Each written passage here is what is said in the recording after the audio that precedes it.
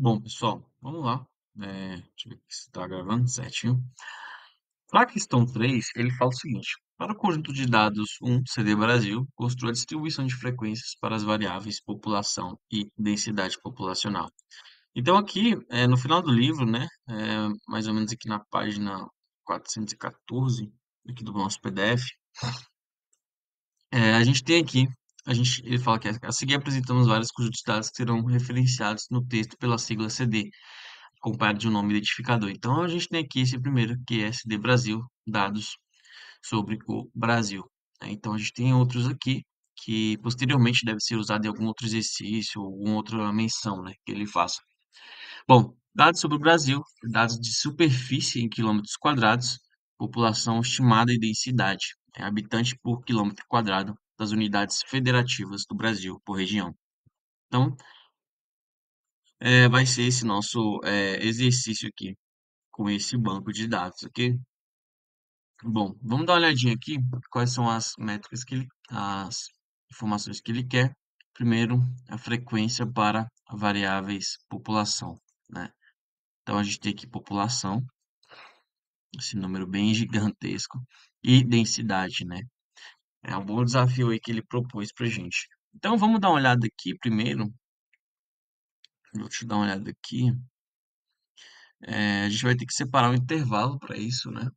E provavelmente ambos vão estar em faixas, porque são valores muito grandes, né? E intervalos também muito grandes. A gente está falando aqui de, aqui ó, 530, 395 mil população e tem uma população aqui de 8 milhões, ó. Tá vendo? Então, ó, aqui outra aqui de 14 milhões, ó. Deixa eu ver outra aqui que tem uma maior de 14 milhões. Aqui, ó, 19 milhões, tá vendo? 39 milhões, ó, em São Paulo. É muito grande, é um intervalo muito grande. Então, tem que ser separado em faixas, tá bom? Bom, vamos, é, vou dar um pause aqui e vamos ali pro Excel e vou já vou trazer logo para não ficar tão grande uma ideia e vou explicar posteriormente, ok? Bom, pessoal, eu já fiz aqui a construção, vamos construir aqui em cima do vídeo para não ficar tão grande, mas vou explicar o seguinte. Eu coloquei aqui uma, duas, três, quatro, cinco categorias, certo? A gente fez isso também no exercício anterior, quando a gente fez uma parte lá do, do exercício é, aqui, ó, parte de idade dos empregados. Eu também fiz essa construção aqui, só que é, eu coloquei esses intervalos. Aqui, como a gente tem um, dataset um poucozinho menor, né, em relação a, a esse intervalo de população, eu consegui aqui segmentar um pouco menos em menores classes, mas a gente tem menores de 500 mil, número de habitantes, eu vou deixar aqui entre 500 mil e 1 milhão, entre 1 milhão e 5 milhões, entre 5 milhões, deixa eu consertar esta nomenclatura aqui, pronto, 10 milhões maior que 10 milhões, e aqui a gente vai ter o nosso total. Se você for contar aqui no nosso banco de dados, é, a gente tem que temos três estados onde o número de habitantes é menor que 500 mil. Temos dois entre 500 mil e 1 milhão. Temos 15 entre 1 milhão e 5 milhões. Bom, e aí a gente tem que entre 5 milhões e 10 milhões temos quatro é, federações aqui. E mais de 10 milhões temos 3. E somando tudo, temos 27, o nosso N. Né? Então, a proporção, a gente pega o nosso NI e divide por N. Isso, a gente vou travar esta célula aqui para ela não se mexer. E vamos realizar o preenchimento total aqui. E tirando a proporção. Só que, ao invés de FI, a gente quer FI vezes 100, caso porcentagem.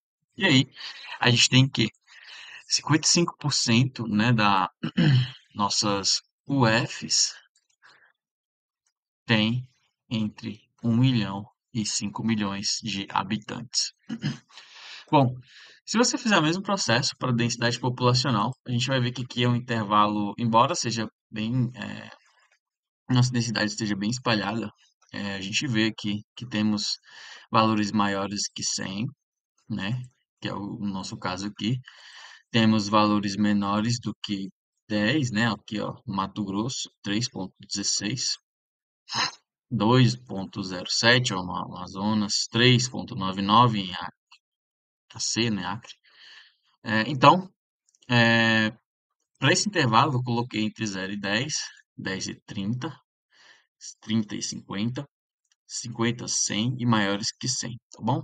Então, se você pegar também essa frequência, você vai ver que entre 0 e 10 temos 9 UFs. De 10 e 30, 10 a 30, né, a gente tem 5 UFs. 30 a 50, a gente tem 4 UFs. 50 a 100, a gente tem 6 UFs. E maiores que 100, a gente tem 3 UFs. Então, também soma aqui um total de 27 UFs, né? Bom, beleza. É... A nossa proporção também, basicamente, NI dividido sobre o N, certo? Que é o nosso número total de observações. E isso, a gente, claro, vou travar aqui na minha célula. Opa. E aí, temos aqui o total, né?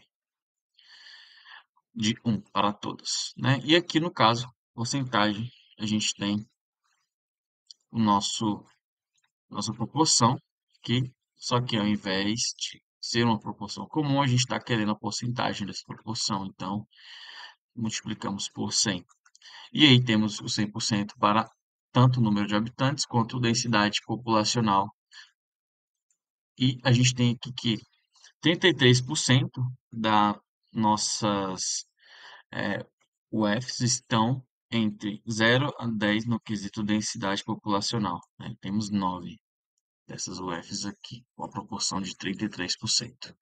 Bom, pessoal, foi esse aqui a resolução do exercício 3, tá? É, espero que vocês tenham gostado e até o próximo vídeo.